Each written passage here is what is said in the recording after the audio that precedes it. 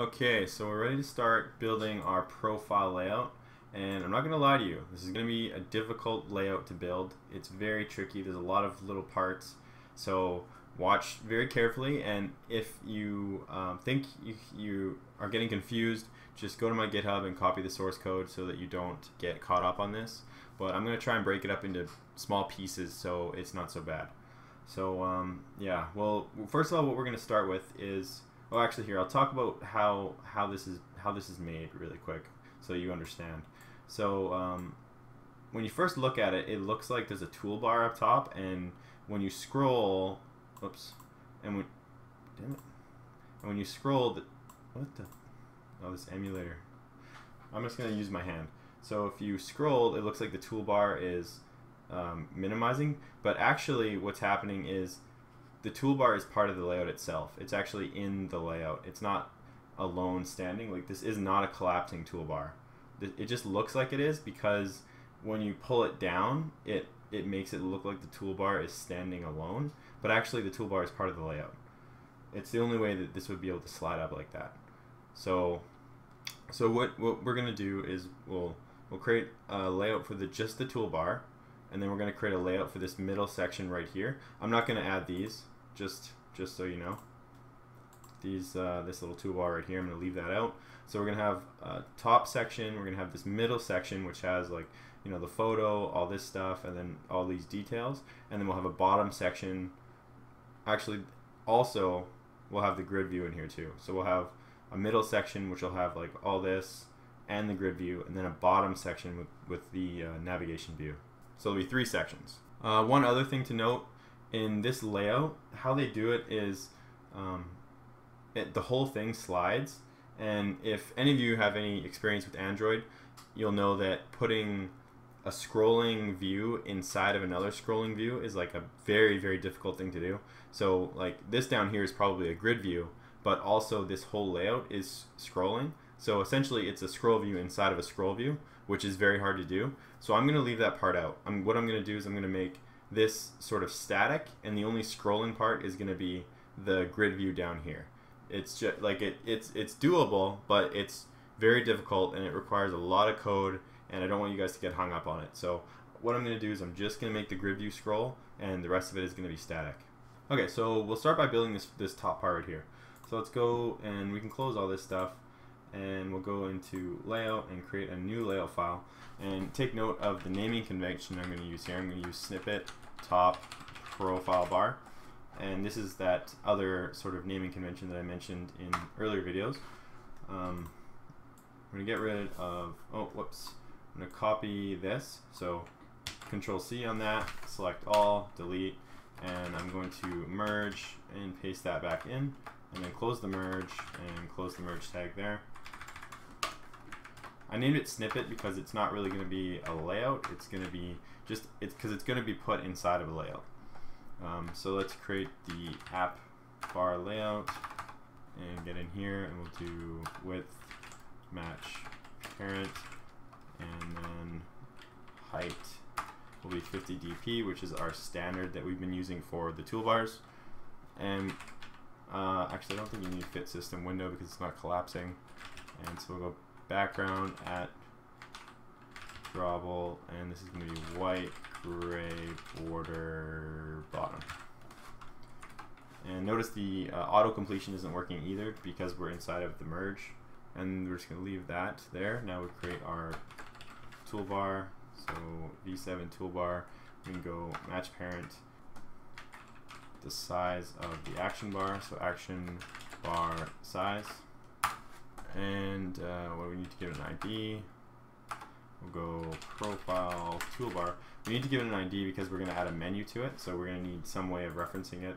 Um, so, and this this is just, I, I don't really need to write this actually. I could probably just write wrap content, that'd be fine. And we can do, that should be fine. That should be all we need actually. And then inside of the toolbar, we, because if you look at Instagram, these ads, um, we have like this little text up here. When I click on it, it doesn't do anything. It's just text. Uh, this is for adding other contacts, and then this is going to be uh, profile settings. So if I click on it, it will take me to settings in my profile. The emulator isn't refresh. There we go. So that's how you do that. So that's why we need to add a menu and we also need to add this text view. Then inside here we're just going to put a text view and uh, how long do we want it? I guess I guess we can just do wrap content and then the height will be, we can do match parent because it'll uh, sit in the whole thing. And we want to do some layout, whoops, I'm going to do layout gravity. So start typing gravity and, oh you can't do layout gravity because it's not inside of a layout. So I want to center this thing. So what we'll do is we'll close it all in a relative layout. We'll do match parent, match parent, and go down and then stick this text view inside of the relative layout. And then that'll give us the ability to center it uh, vertically. So now I can do center vertically um, just so that text sits right directly into the middle. I don't want it kind of hovering wherever. And let's actually put some text in it right now just so we can see what it looks like. So I'll do mitch.tabian and now I can see it's really small so let's change the text size. We'll do 20 SP, it'll be pretty big. And we'll do text color, R color. I don't have a black color so let's go into colors and we'll add one new color. Let's copy that, call it black and do 000, 0, close colors. Now we can do color black. This is not centering vertically. That's oh, that's because of this. Uh, we need to do height wrap content. Oh, this wrap content. There we go. Um, this, yeah, it's fine. Wrap content. This this could be match parent. That doesn't matter, but this has to be wrap content. And then we can center it uh, vertically. And let's just do a little margin on the left. So we'll go margin start and just do like 15 dp or something. That should be okay. And then uh, we need 9d because we're going to need to. And when our, when our app is actually done, this of course is going to be dynamic. It's going to be based on whatever user is signed in. I'm just going to, I just added some text into it right now so we can kind of get a feel for what it looks like. But we will need to make it dynamic later. Okay, so that's okay. Now we need to add the little menu over there. But we don't need. We're not going to do that in the layout file. We're going to do that in the activity. So that's what we'll do right now. We're going to actually create that menu for up there. So let's go to uh, menu, right click, go to new menu resource file, and we'll go, uh, let's call it profile menu. And inside of profile menu, we're just going to have, in, in Instagram itself, when you click on this, it doesn't actually pull down a menu. When you click on it, it just takes you to the other, uh, I'm guessing, activity. So that's all we really need to do. We don't need to do anything special here. So we can just go um, in here, we can create an item, uh, close tag, go up here. There we go. Uh, so let's pop profile menu. And we're not going to add any text, we're not going to add an icon, we're not going to do anything because um, later we'll come back to it and it, we're not going to actually have this pop down. We're just going to click on it and it's going to take us to another activity. So we can close the profile menu and now let's go up and let's go into profile activity and we're going to create a method for setting up the toolbar. So I'll go, uh, whoops, private void setup toolbar. And in here, we're going to create a toolbar widget. We call toolbar. Uh, get that V7 widget there that I just imported. And go to toolbar, find view ID, r.id dot profile, toolbar. And then we do set support action bar, and we pass the toolbar so that it knows uh, which toolbar we're talking about. Now we can set uh, a menu to it. So we can go toolbar dot set on oops, on menu item click listener new on menu item click listener. If you don't know how I'm doing this, I just do new and then do capital O. and You can see the on menu item listener pops up there. Uh, I don't care about the false, we can leave that. Let's just log that we actually clicked on something, so we can go clicked menu item item just to test the click. Um, we can do a switch. So switch, we do item.get item ID and open the brackets. And we're just gonna have one case, so r.id dot profile menu it was, and we're just gonna log that. So log dy oh forgot to type case. Case. Click the oops. Navigating to profile I guess preferences. So now that's just a way that we'll test the click. And we're going to need to insert an override method for the menu.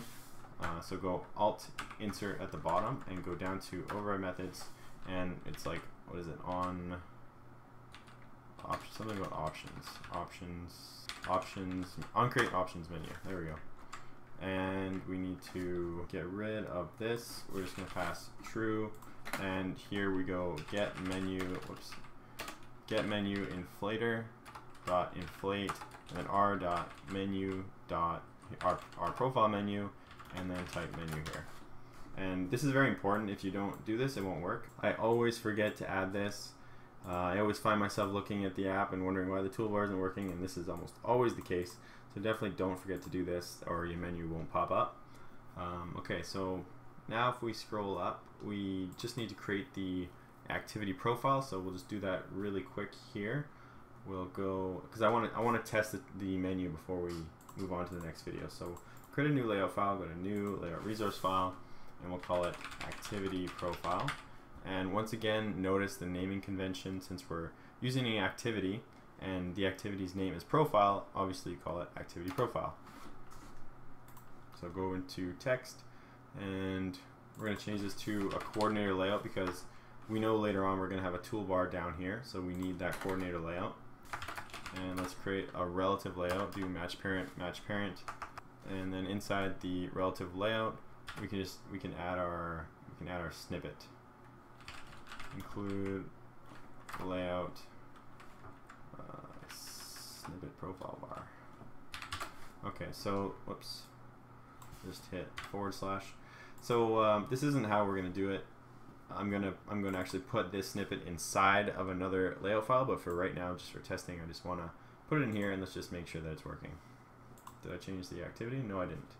So last thing here is we'll go to change this to activity profile. And I just ran the app but it's gonna crash when I go to the profile here. Yeah so because I hadn't changed the activity yet. So now I'm gonna rerun it and let's take a look. Okay let's go to the profile. Still crashes because I don't have the bottom navigation view. So let's comment that out, test it. Okay, there we go. So right now we have the toolbar working up there. If we click on it, it opens up the menu, which isn't going to be the case when we actually do it in production. I'm going to make it so that as soon as we click on that, it'll take us to another activity, so this menu won't actually pop up. Cool. So we're done. That video was a little longer than I wanted it to be. But uh, we got our menu working at the top of our profile, looking good. And in the next one, we'll start uh, doing more on the profile. So we'll actually start building this center layout here. And I'm going to tell you ahead of time, it's not going to be easy. Once again, if you uh, don't want to get mixed up or confused or screw your layout up, layout up, just copy my GitHub page. But if you follow along, I'm going to go nice and slow so that it should be good. So I'll see you in that next video.